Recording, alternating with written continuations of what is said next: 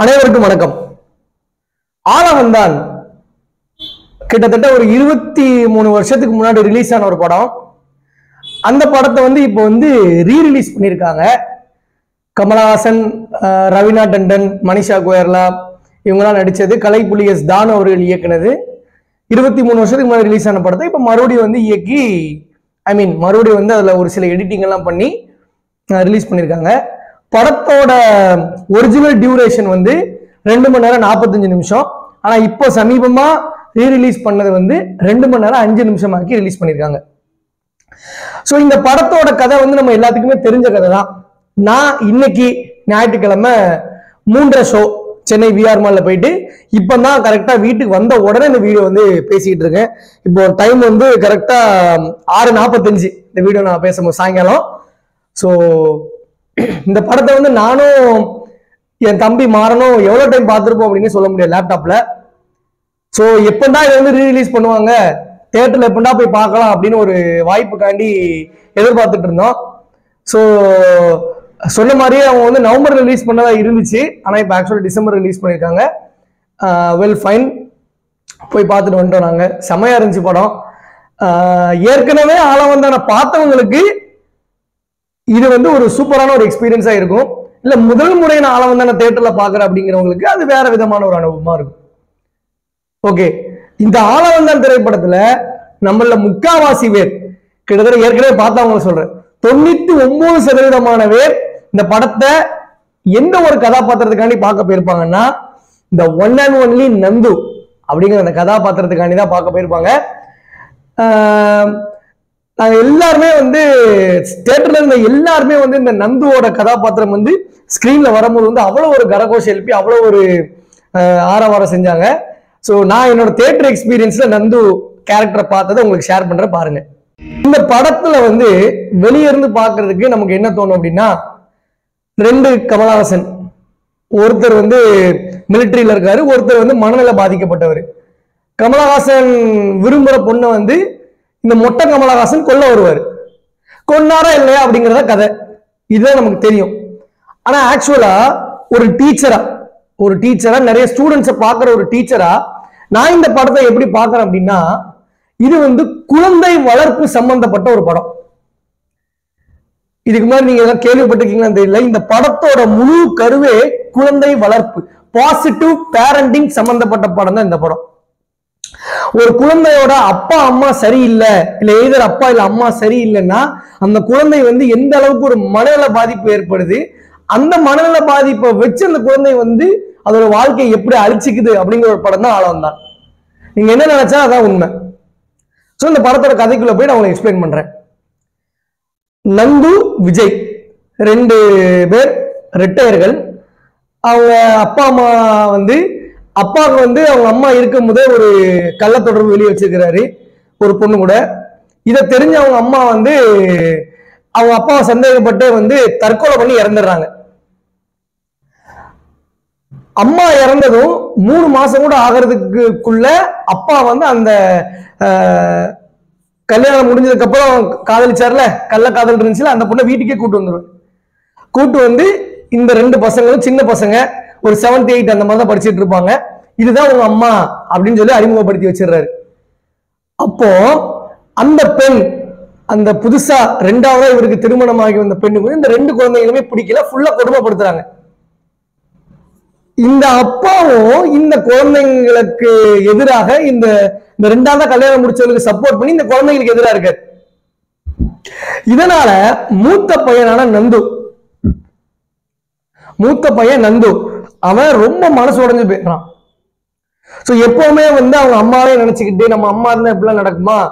நம்ம அம்மா வந்து இறந்துட்டதுனால தான் இந்த மாதிரிலாம் நடந்திருக்கு அப்படின்னு சொல்லிட்டு ரொம்ப மனசு வந்து வெகுண்டு போய் ஒரு அவனுக்கு வந்து ஒரு மன ரீதியா பாதிக்கப்பட்ட ஒரு நோய் வந்துருது. ஸ்கிசோமேனியா வித் பேரனாய்டல் இஷ்யூ ஸ்கிசோமேனியா அப்படிங்கிற ஒரு நோய் கொடூரமான ஒரு மனநல பாதிக்கப்பட்ட ஒரு நோய். அது என்ன அப்படின்னா ஸ்கிசோமேனியால நிறைய வகைகள் இருக்கு. இப்ப உதாரணத்துக்கு சொல்ல போனா ஒரு மாதிரி ஏதோ குரல் கேட்கிற மாதிரி இருக்கிறது இல்ல பேய் வந்து கிட்ட வந்து நின்று பேசுற மாதிரி செத்து தற்கொலை பண்ணிடு அப்படின்னு பேய் பேசுற மாதிரி இருக்கும்னு சொல்லுவாங்க.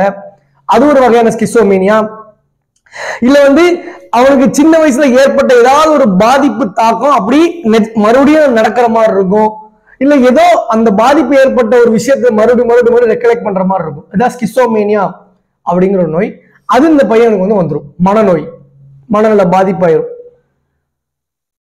அப்ப வந்து இறந்து போன அவங்க அம்மா வந்து அவங்க முன்னாடி வர்ற மாதிரி தெரியும் அவன்கிட்ட பேசுற மாதிரி தெரியும். கடைசியில அவங்க அம்மாவே வந்து நீ போய் அந்த பொண்ணை வந்து கொலை பண்ணிடு அப்படின்னு கத்தி எடுத்து கொடுக்குற மாதிரிலாம் இமேஜின் பண்ணுவான். அவன் அவங்க அப்பாவோட இரண்டாவது காதலியே கொன்னே போடு சின்ன வயசுலயே அவங்க அப்பா சரியில்லாதனால அவங்க அம்மா இறந்து போனதுனால ஏற்பட்ட இந்த மனநோய் கடைசி வரைக்கும் அவனுக்கு இருந்திருக்கு. ஃபியூச்சர்ல அவன் தம்பிக்காரன் வந்து ஒரு ஒரு பெண்ணை விரும்புறதா இவனை பார்க்க வர்ற நினைச்சல அந்த பெண் என்ன நினைச்சிட்டான்? அவங்க சித்தியா கற்பனை பண்ணிக்கிறான். சின்ன வயசுல கொண்டான்ல அவங்க சித்தியா கற்பனை பண்ணிட்டு அந்த பெண்ணையும் கொல்லணும் அப்படின்னு துடிக்கிறான் நந்து. அப்போ இதுக்கெல்லாம் வந்து காரணம் வந்து சின்ன வயசுல அவங்க அப்பா சரியில்லை. அவங்க அப்பா வந்து ஒரு சரியான ஒரு இதா இல்ல.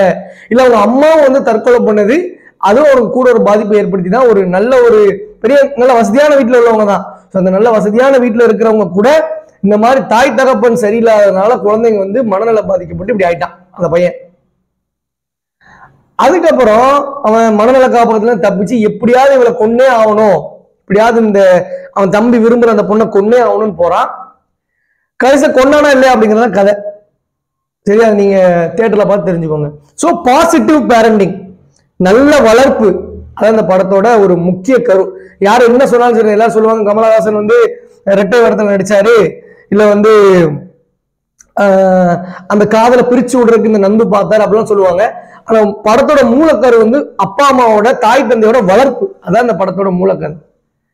இது எப்படி உறுதிப்படுத்தி சொல்லலாம்னா கடைசியில அந்த படத்தோட முடிவுல அந்த கமலஹாசன் விரும்பின அந்த பெண்ணுக்கு வந்து ரெட்டை குழந்தை இருக்கு அப்படின்னு டாக்டர் சொல்லுவாங்க. அப்போ கமலஹாசனும் அந்த அவனோட காதலே ஒருத்தர் ஒருத்தர் முகத்தை பார்ப்பாங்க. என்னடா ரெட்டை குழந்தை? ஏன்னா ஏற்கனவே ரெட்டை குழந்தை தான் அந்த நந்து வந்து கொல்ல வந்தான். அப்ப ரெட்டை குழந்தைய பார்த்த உடனே கமலஹாசன் ஒரு வார்த்தை சொல்லுவார். கவலைப்படாத இந்த குழந்தைங்களுக்கு வந்து நல்ல அப்பா அம்மா கிடைச்சிருக்காங்க. அதனால இவங்க வந்து மனநல பாதிப்புக்கு ஆளாக மாட்டாங்கன்னு ஒரு வார்த்தையை சொல்லுவார். ரெட்ட குழந்தை தெரியுது.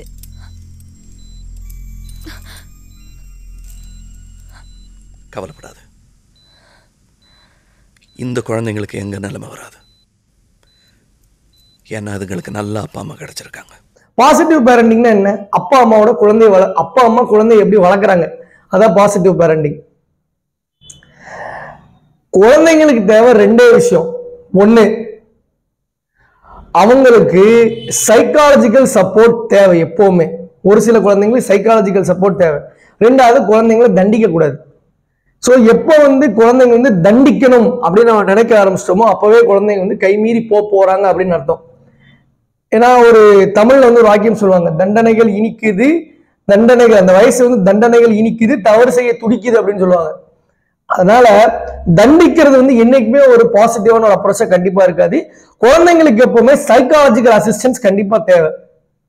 ஸோ இந்த சைக்காலஜிக்கல் அசிஸ்டன்ஸ் கரெக்டாக கிடைக்காத குழந்தைகள் அதிகமான தண்டனையை சின்ன வயசுல அனுபவிக்கிற குழந்தைகள் ஒன்று ரொம்ப பயந்த மனசு மன பாவத்துக்கு ஆளாயிருவாங்க ஃபியூச்சர்ல எது எடுத்தாலும் பயப்படுறது ஒரு ஒரு நடுக்கம் பயம் சின்ன பிரச்சனை கூட ஸ்ட்ரெஸ் ஆகுறது இந்த மாதிரி போயிடுவாங்க. இல்லைன்னா இந்த படத்துல வர நந்து மாதிரி சைக்கோவா மாறிடுவாங்க. எதுக்குமே கவலைப்பட மாட்டாங்க.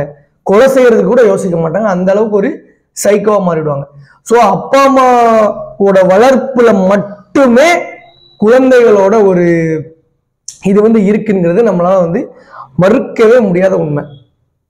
ஸோ இதை பார்த்துட்டு இருக்க பேரண்ட்ஸ் ஏன்னா நான் டீச்சருங்கிறதுனால நான் பேசிக்கிட்டு இருக்கேன். இதை பார்த்துட்டு இருக்க பேரண்ட்ஸ் குழந்தைங்களுக்கு சைக்காலஜிக்கல் அசிஸ்டன்ஸ் கொடுங்க. கூடுமான அளவுக்கு குழந்தைங்களை தண்டிக்காதீங்க. ஓகே இப்போ இந்த நந்து அப்படிங்கிற கேரக்டர் பற்றி ஒரு சில வார்த்தைகள் பேசிடலாம். என்னதான் நந்து வந்து மனநல பாதிக்கப்பட்டவனா இருந்தாலும் கொலசையிலும் துடிச்சாலும் மனதளவில் அவன் வந்து ஒரு குழந்தை தான் ஸோ அவனோட அம்மா ஞாபகப்படுத்துற எந்த ஒரு விஷயம் வந்தாலும் அவன் டக்குன்னு வந்து குழந்தையவே மாறிடுவான். அதை இந்த படத்துல கமலஹாசன் வந்து ரொம்ப அழகா எடுத்து காமிச்சிருப்பாரு. ஸோ ஒரு சில காட்சிகளை வந்து போடுறேன். பாருங்க. ஸோ இதுக்கு வந்து நம்ம ஐயா கமலஹாசனை வந்து பாராட்டியே ஆகணும். ஸோ கமலஹாசனை போன்ற இன்னொரு ஒரு கலைஞன் வந்து தமிழ் சினிமாவுக்கு கிடைப்பாரா அப்படின்னு கேட்டால் கிடையாது. அவர் வந்து கிண்டல் பண்ணலாம் கேலி பண்ணலாம் இல்லை அவரோட தனிப்பட்ட வாழ்க்கையை விமர்சனம் பண்ணலாம். அவரை மாதிரி நம்ம தாடி மீசை கூட வச்சுக்கலாம். ஆனால் அவரை மாறி திறமையா இன்னொரு ஒரு ஒரு லெஜண்டரி ஒரு ஆக்டர் டைரக்டர் ஒரு சினிமா நாலேஜ் இருக்கிற ஒரு பர்சன் இனி அடுத்த தமிழ் சினிமா கிடைப்பாங்களாங்கிறது ஒரு கேள்விக்குறியான விஷயம்தான். ஸோ ஒட்டுமொத்தமாக எனக்கு இந்த ஆளவந்தான் ரீலீஸ் அனுபவம் வந்து ரொம்ப பிரமாதமாக இருந்துச்சு. நான் அதை ரொம்ப லைக் பண்ணேன். ஸோ ஒரு ரெண்டு மணி நேரம் கிட்டத்தட்ட எப்படி போச்சு அப்படின்னே தெரியல. ஓகே நண்பர்களே நீங்களும் கண்டிப்பாக அந்த படத்தை தேட்டரில் போய் பாருங்க. குறிப்பாக நைன்டி கிட்ஸ் நம்மளாம் அந்த படம் வரும்போது நமக்கு ஒரு நாலு வயசு இருந்திருக்கும். மேபி அப்பா அம்மா கூட போயிருக்கலாம் நான் விவரம் தெரிஞ்சிருக்காரு ஸோ இது உங்களுக்கு இந்த படத்தை பார்க்கறதுக்கான ஒரு அழகிய வாய்ப்பு மிஸ் பண்ணிடாதீங்க. நன்றி வணக்கம்.